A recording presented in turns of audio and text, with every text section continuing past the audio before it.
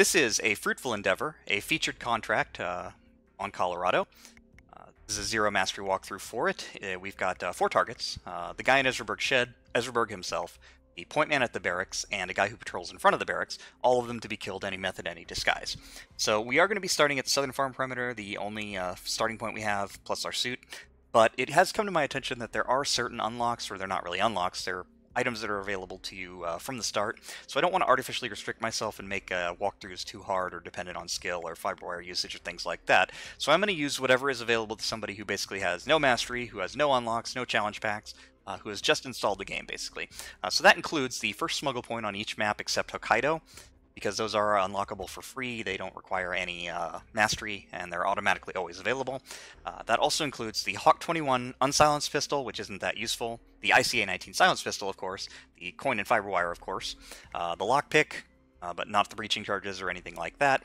The modern lethal syringe, but none of the other syringes and none of the poison vials. Those are all unlocks. And I believe the proximity mine. So if those things would be useful, we will bring them. And in this case, they will be, so I'd like to show that off. So what we're going to do here is start, we're going to come through here, and as a pretty standard kind of opening, get our smuggled item, our extra thing here, and throw a coin like right here Huh. to attract the I'm attention of one of these guys. Someone's messing with us. Go check it out. That's a big 10-4. Now it looks like he's going wide, so we'll go this way. Subdue him.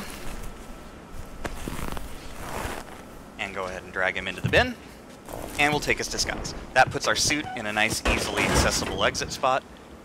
And it, of course, gives us a disguise, which means we don't have to run around the map now uh, messing with that. We're going to pick up the gun and the extra coin, although I don't know that I need them. And we're going to head for the barracks. We need to be fast about this, because there is an opportunity, and we have time for it. So if you're a little slow, don't worry about it. But uh, if not, you're going to have to wait for another opportunity, and I'll show you what that what I mean by that. Once we get into the barracks, we should see that uh, one of the guys is walking towards the sink, and the point man is taking a drink from his water. Now we're not going to bump the point man, we're just going to go and grab these poison pills behind the TV, and we're going to wait for him to finish his drink, while the other guy is at the sink washing up. So he'll finish his drink, he'll set it down, and he'll start walking away.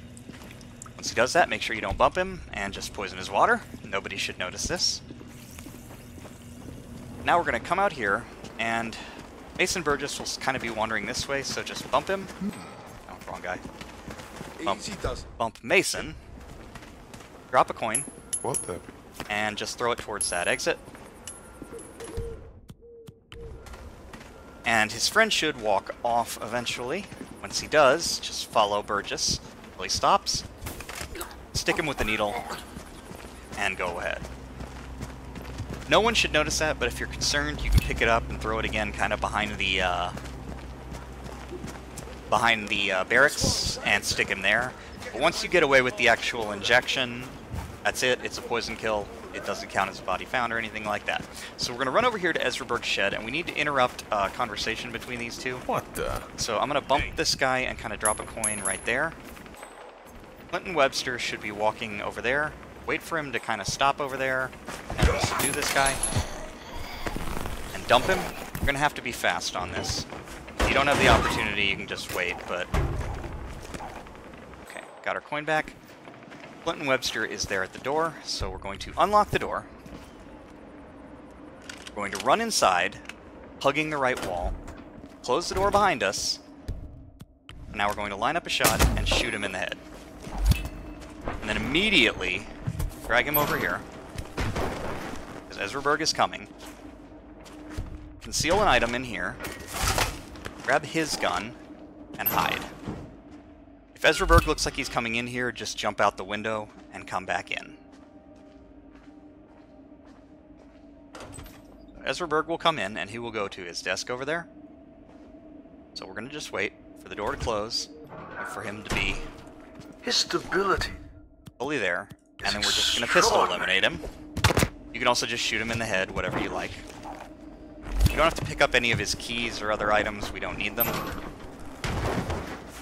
We're just going to dump him, so either everyone has been dumped, or everyone died of poison. So two people are in a, ca- uh, in a container, two people died of poison, so there's no risk now of any bodies being found.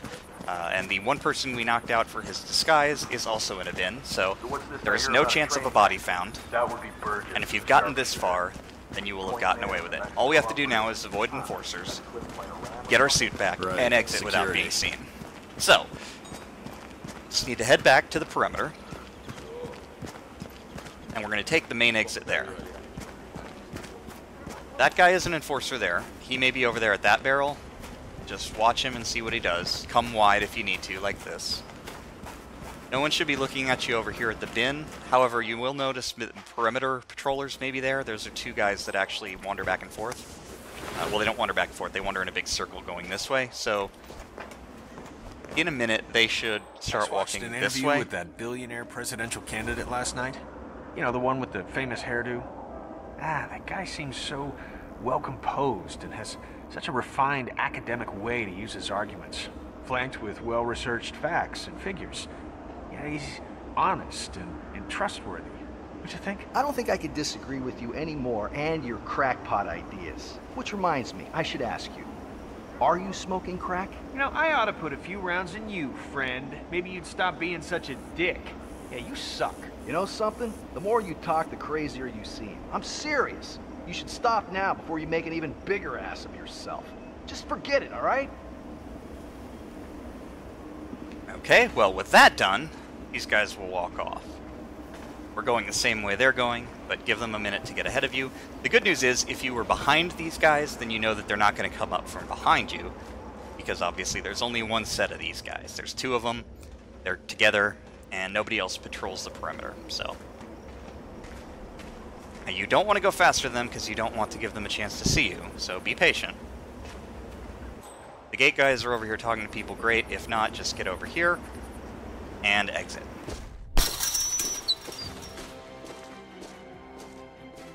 And that should take care of it. A little difficult, I know, especially with subduing that guy at Ezra Berg's place, but it's a little bit necessary because otherwise it does get pretty rough.